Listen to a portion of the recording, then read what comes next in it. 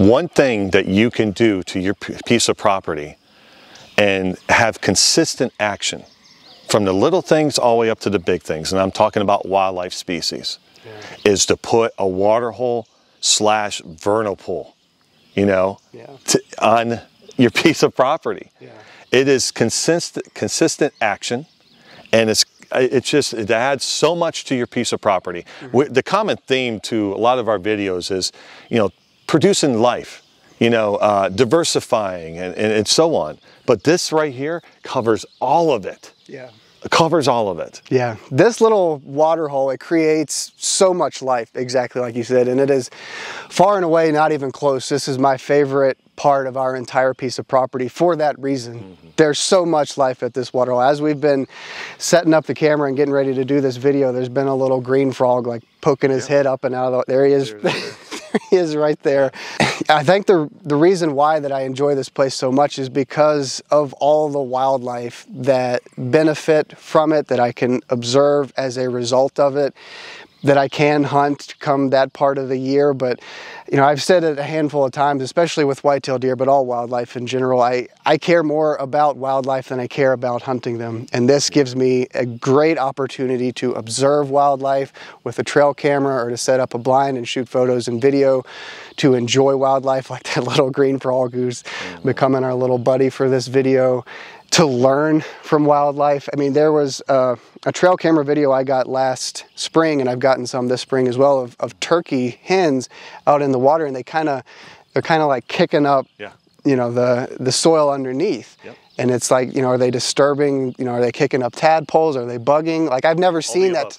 Yeah, I've never seen that type of behavior before because of this water hole and that trail camera. I learned something new about that. And yeah, all wildlife species, everything Virginia has to offer has found its way to this little water hole. Deer, obviously, all kinds of songbirds. One of my favorite video clips is of a decent sized black bear. Oh, yeah last summer it was super hot mid to late july like he comes right where we're standing and just completely submerges himself in the water for yeah. for a couple minutes Takes a bath. big relief. My mom said as she was watching it like isn't it a great feeling to know that you provided like relief for that animal? Yeah. you know as a result of of i wish i could say this was hard work but it was actually created by accident but still.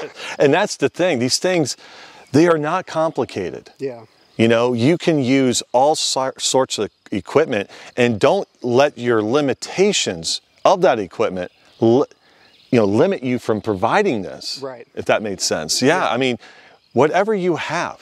Yeah. Uh, you guys created this. So This was a little indentation, yeah. and you used your back blade Mm -hmm. you know, that you, drive, yeah, you do your driveway with. Yeah, we got a little 25 horsepower tractor and this you know water hole like i said was created by accident. When we had a logger come in here he cleared out this area with the dozer and luckily we got a lot of rain the night after he cleared it. And then you know a bunch of water pulled up right here and asked you I was like do you think this would be a good spot for a water hole? You're like heck yeah. And then that afternoon my dad and I came up here and again this old 35 year old 25 horsepower Ford tractor with a back blade that we used to push yeah. snow we dug it out a little further made it a little bigger and the result from that just little bit of work is yeah. all of this life. Yeah, I mean, you can, you can, if you have a skid steer, you have a, a mini track, um, if you're having a dozer, um, which we created one with a dozer, yeah. um, with my fine excavating skills. But uh, yeah, mm.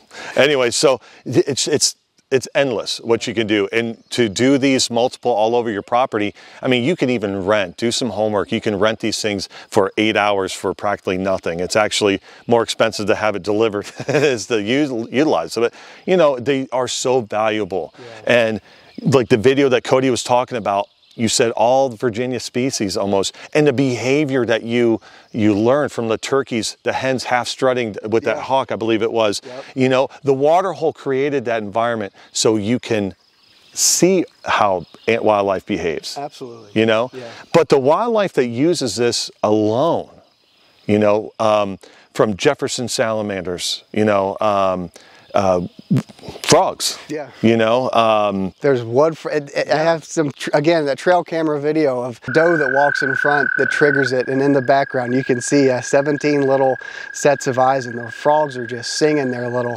hearts out. The sound's almost deafening, and a- all as a result of this. And it's this is its own ecosystem. Yeah. You know, we talk about like our property is 190 acres and we got clear cuts, food plots, this, that, and the other. But this, for the species that live here, like this is their home. Yeah. That frog, like this is his. I mean, you know, a little, I'm sure he ventures out.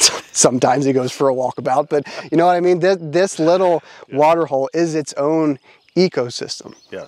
And what's neat to piggyback on that, there's an ecosystem on top of ecosystem, and on top of that, we don't even comprehend, nor we have the knowledge to understand. There's a reason why salamanders are using this, Yeah. and there's there's reasons X, Y, and Z that they're eating, uh, laying eggs here. Right. Frogs. So there's another type of environment why it's here. Yeah. You know, the turkey's scratching in the water. Yeah. There's a reason why they did that for that species that they can bug on, or maybe they wanted to wash their feet. I don't know. But anyway, so but the bear, you know, it's like a million reasons why these things are so valuable. Very easy to do, um, and it's just the inventorying wildlife. I mean, we could go on and on and on how valuable these things are. Yeah, I'm I'm so thankful for this this water hole, this part of the property, for the wildlife reasons that we that we just touched on. I mean, it, it's a great hunting oper, uh, great hunting setup during the fall for deer for sure.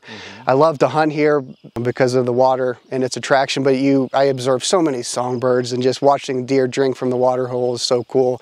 But even wildlife aside this is a great water holes are a great tool to introduce kids to the outdoors to get them involved and teach them about nature and get them interested in wildlife. My nephew just turned three years old. Every time we come up here like as soon as he gets off the side by side this this area is there's a lot it's very rocky. Like he picks up as many rocks as he can carry and he just runs up here and just starts chucking them into the water hole. And it's you see this smile on his face that's it's contagious for one and you you just appreciate it because this water hole is a vehicle for me to kind of and whether he becomes interested and passionate about conservation wildlife remains to be seen but this water hole is a great vehicle a great stepping stone to introduce him to the outdoors. I remember we he and i were looking for back during the spring, he and I were looking for tadpoles, and I was pointing out tadpoles, and I was explaining to him why maybe it's not a good idea to always throw rocks at tadpoles because this is where they live.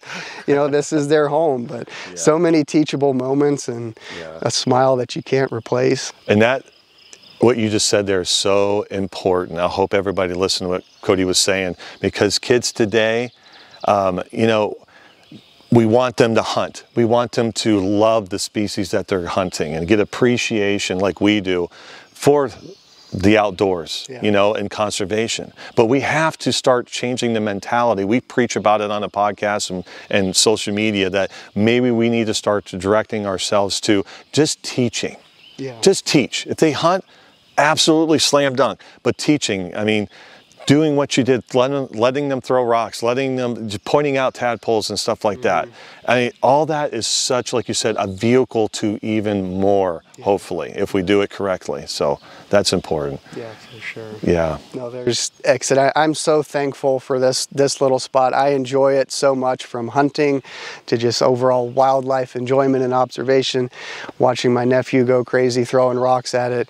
I mean, the, and and the result or the reasons why are because of it, it's it's so much life. It's a life creator. Yeah, and there's a lot of a lot of things that con that replace this out there in the industry, if you will. Mm-hmm. You know, tanks and stuff like that. Those are there's nothing wrong with putting a tank in and filling it with water. You know, to have a hunting situation, and you know, obviously, it's the value of wildlife utilizing it. But it, it's it's such a limiting thing for all wildlife when you could do this and provide the same thing, the same hunting aspect of it, the same, you know, utilization, but it stops. Yeah. It stops. It's it. Yeah. Good, not great. No, it's good, but not great. So This, this to me is great, and the good thing about this is I don't have to fill it up. you don't have to fill it up, and it doesn't have to be filled all the time. Yeah. It's going to be seasonal, and don't panic. But what's real quick is that when you do notice that there might be leaking problems, it's such an easy fix. You go get some bentonite, and all, that's what happened here. Mm-hmm. kind of maybe a slow leak from all the rock chucking. yeah, yeah, I'm blaming on my three-year-old. hey, I'm just saying. no, that's exactly it. It it, it kind of had a slow leak last summer, fall. It wasn't holding water like it had in its first year. And I mean, a 50 pound bag of bentonite, which actually may have been a little bit too heavy for this small of an area, but we had what we had. And I mean, yeah, it, this. It's filled and it ain't going anywhere. Ain't going anywhere. So, but good stuff. Absolutely. That little frog right there, he's become our little buddy. He learned something today. He learned something today. But as it is for us, and as it is for that little green frog right there, wildlife is our way of life.